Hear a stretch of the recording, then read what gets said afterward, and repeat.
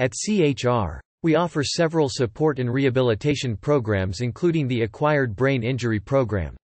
This program enables people with an acquired brain injury to live outside of institutions by providing community-based non-medical services. Individuals must be eligible for services through either the Connecticut Department of Social Services ABI Medicaid waiver or the Department of Mental Health and Addiction Services ABI.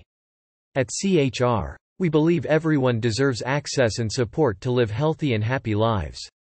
If you or anyone you know has suffered from a brain injury and would like to know more about our acquired brain injury program, contact us at 1.877.884.3571.